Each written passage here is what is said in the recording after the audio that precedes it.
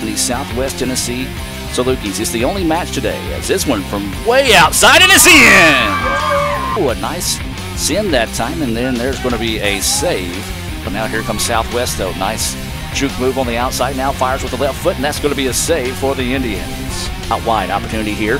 Going to try to pop it over the middle, looking to go inside, but there's Driscoll. Nice job by Driscoll out wide on the left wing. Now here come the Indians. Three on two opportunity here. Dribbles past the defender, grabs a jersey, no call, and there's a goal.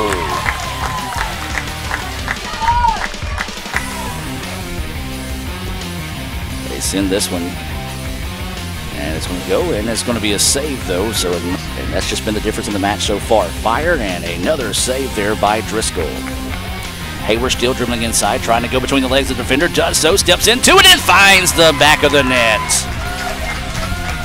And gets some good help defense. Drops it off to Mathis. Mathis fires, and goal for Brittany Mathis.